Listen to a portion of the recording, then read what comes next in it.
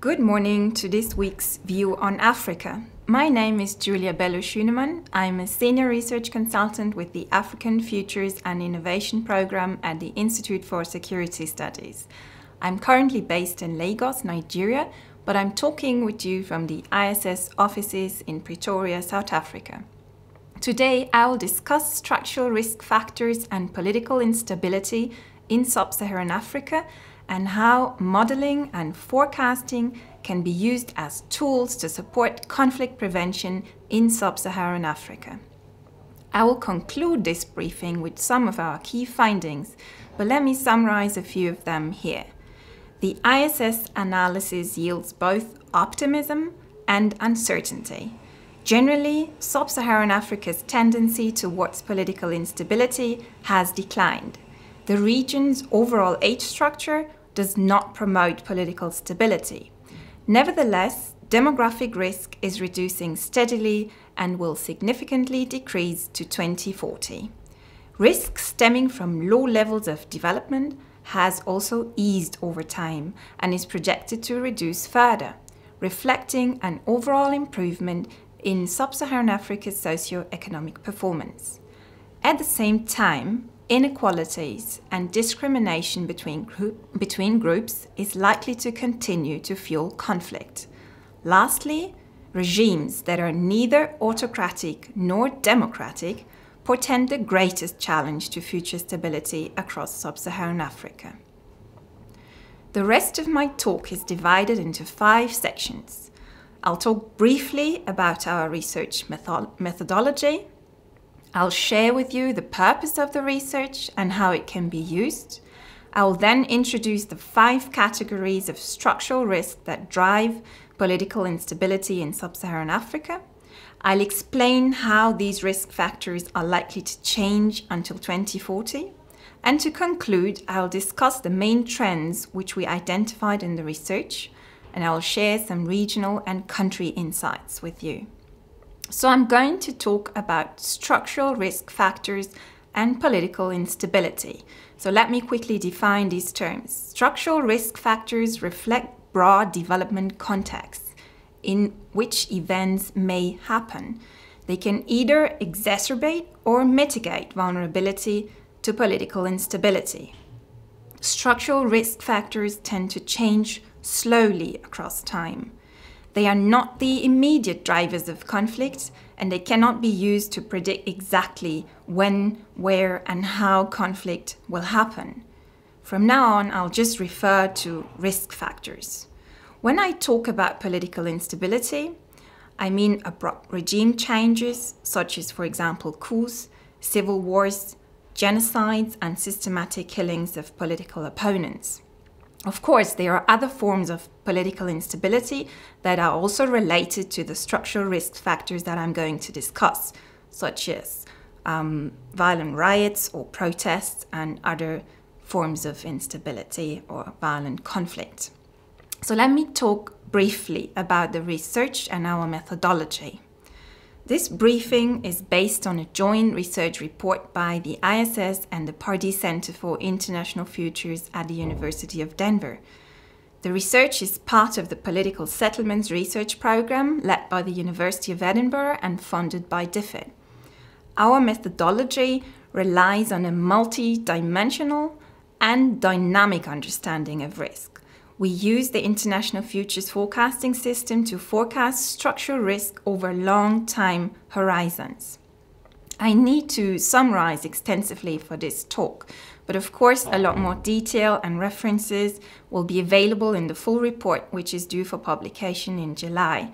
You'll be able to download this report from the ISS website and we'll be organizing a series of briefings and public launches. If you would like us to do a briefing for your organization, please just tell us.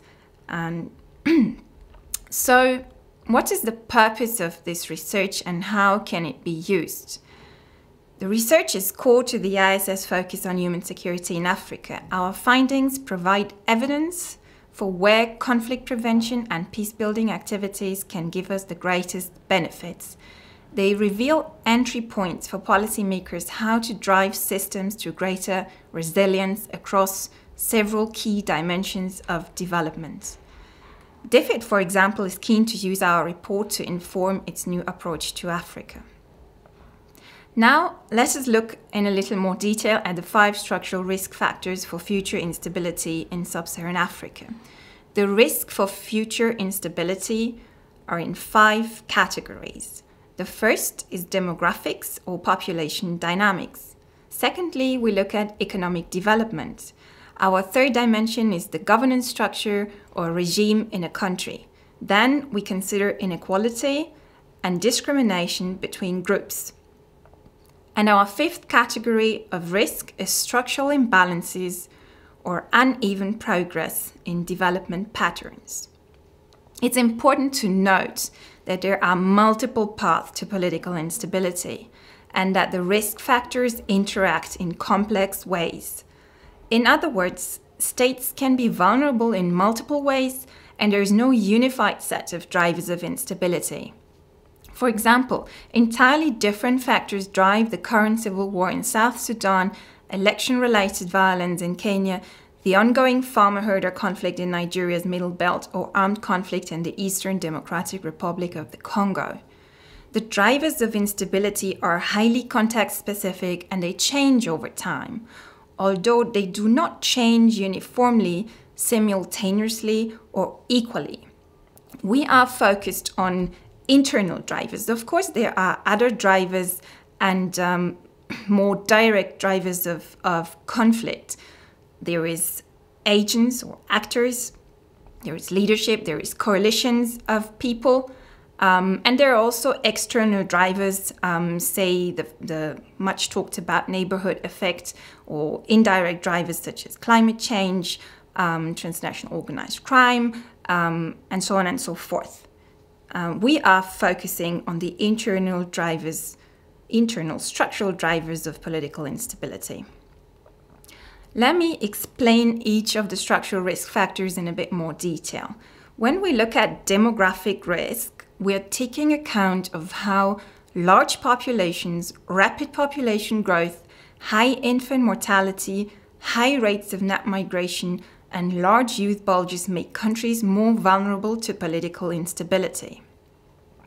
When we look at the second category, economic development, we find that countries with low levels of GDP per capita, poor GDP per capita growth, and low life expectancy are more at risk. Generally speaking, low levels of GDP per capita reflect low levels of investment in human development, lack of infrastructure, poor government capacity, and governments that lack legitimacy. Our third category is regime type, and there are three broad categories of regimes democratic states, autocratic states, and states that are trapped somewhere in between. States that combine elements of both democracy and autocracy, also called mixed regimes. These states are called anocracies. Most of sub Saharan Africa's states are anocracies.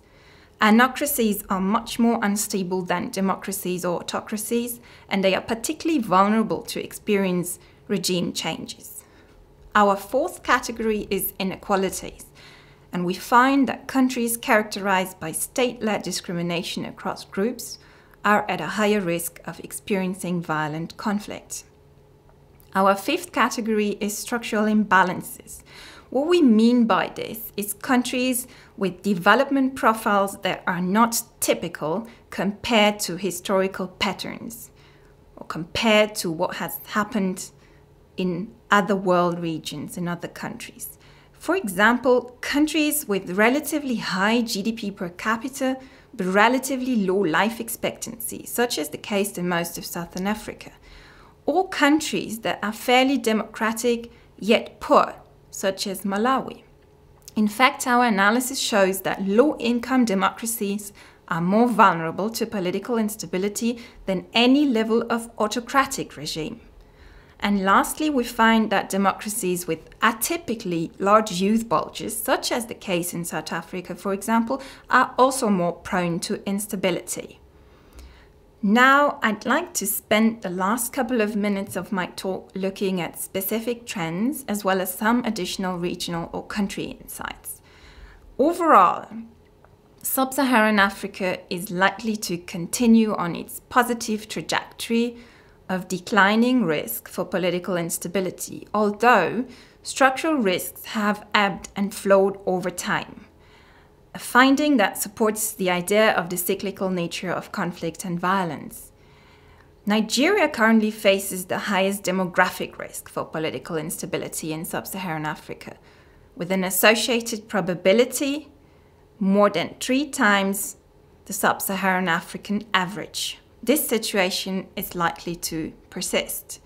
In fact, the countries that face the greatest demographic risk now and until 2040 include most of the countries that have seen the highest number of fatalities from organized political violence between 2001 and 2016. These are Sudan, Nigeria, the DRC, Somalia, South Sudan, and the Central African Republic. Anocratic governance structures, governance structures that combine both elements of democracy and autocracy stand out as the most significant future risk factor for political instability in sub Saharan Africa. And as I said before, most states in sub Saharan Africa are anocracies. Where autocracies rely on repression and cooptation to, to restrain opposition forces, democracies settle societal grievances via political inclusion and the provision of public goods. In a sense, democracies are more inclusive by definition. Anocracies are less effective on both ends, which can lead to political instability. In future, Central Africa is projected to see significant increases in the average probability of political instability due to anocratic governance structures. The countries with the highest risk of experiencing the onset of political instability events due to their anocratic governance structure are Angola, Burundi, Cameroon, Chad, Congo, Ethiopia, Mauritania, Rwanda, Sudan, Togo, and Uganda. Democracies will enjoy greater stability in the longer term, but only if economic development keeps pace and if countries in sub Saharan Africa start managing demographic risk more proactively and address inequalities. Thank you very much.